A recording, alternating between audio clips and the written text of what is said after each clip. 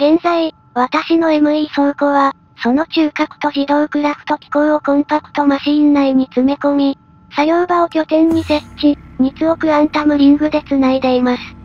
が、現状の倉庫事情には少々不満がありまして。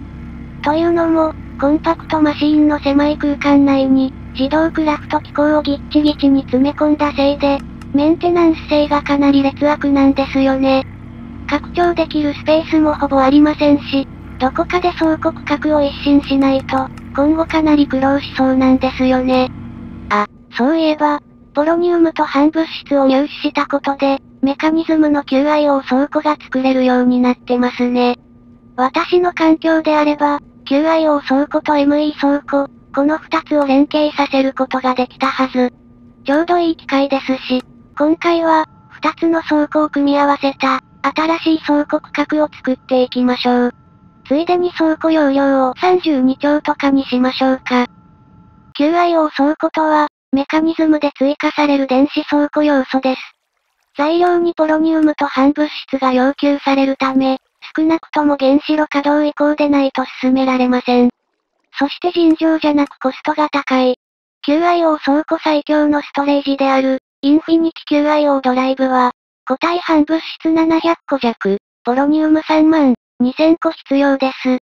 最大構成の原子炉でも、何十時間とか放置しないと、この量は不可能でしょう。ほぼエンドコンテンツといって差し支えありません。しかし、QIO 倉庫はそのコストに見合った性能を発揮してくれます。先ほど紹介した最強ストレージ、インフィニティ QIO ストレージの容量は、アイテム16兆個分です。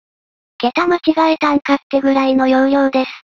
QIO ストレージは、QIO ドライブ配列にセットして扱うんですが、1ブロックにつき、12枚のストレージを挿入可能です。もし、ドライブ配列にインフィニティなストレージを12枚フルで挿入した場合、その QIO 倉庫の容量は驚異の192兆になります。1ブロックで192兆の倉庫です。一応、QIO ストレージには、ME 倉庫のようなアイテム種類による搬入制限がありますが、インフィニティなストレージ2枚で400万種のアイテムが管理できます。制限は合ってないようなものです。また QIO 倉庫は、運用の柔軟性に長けた電子倉庫でもあります。基本的には、QIO ディスクを挿入したドライブ配列と、QIO ダッシュボードがあれば機能します。必要な作業は、それぞれをつなげる周波数を設定するだけ。電力供給とかは一切必要ないです。AE2 のようなチャンネル制限もなく、倉庫の接続範囲も無制限です。ディスク配列が爆破されない限り、QIO 倉庫は運用可能です。また、QIO 倉庫に自動搬入、自動搬出するブロックも存在し、こちらも、周波数とフィルター設定をするだけで機能します。QIO 倉庫内の在庫数に応じて、レッドストーン信号を発するブロックもあるので、組み合わせれば、簡単な在庫自動補填も可能になります。QIO 倉庫の主な強みは、こんなところでしょうか。簡単に言えば、QIO 倉庫は容量が桁違いで、柔軟性が色々高いってことです。ただし、明確な弱点もいくつかありまして、例えば、ME 倉庫では定番の機能でもある、自動クラフト機構が、QIO 倉庫にはありません。また、ダッシュボードのクラフトグリッドが、かなり使いづらいです。クラフトグリッド内のアイテムが、倉庫に戻らずプレイヤーインベントリに移動するんですよね。他にも細々とした使いづらさがあり、QIO 倉庫をメイン運用するのは、かなり厳しいというのが実情です。ですが、AE2 とメカニズムの連携アドオンを導入することで、QIO 走行ストレージバスが認識してくれるようになります。これが何を意味するかって QIO ダッシュボードをポン付けするだけで容量が超でも軽でも簡単に増やせます。さらに、QIO の自動搬出入機構もそのまま扱えるため、ME 倉庫のチャンネル節約にもつながります。で、自動クラフトや GUI は ME 倉庫のものを扱えば OK という、ほぼ的な死のやべえ倉庫が完成するわけです。長々とした説明になりましたが、今回作るのは、QIO 倉庫の桁違いな容量と柔軟性、ME 倉庫の自動クラフト機構を組み合わせた化け物倉庫、ということです。それに伴い、ME 倉庫側の自動クラフト機構も手直しするわけですが、今回は P2P トンネルを使って配線します。まず、入力側の P2P トンネルをコントローラーに直張りして、P2P が認識されるよう、ケーブルで繋ぐ。お次に、出力側の P2P トンネルを適当な場所につける。あとは、入力側の P2P トンネルをシフト右クリックして、出力側の P2P トンネルを右クリックすれば、これで、出力側のトンネルから、最大32チャンネル分の接続ができます。これのすごいところは、P2P トンネル自体は、あくまでも1チャンネル消費であること。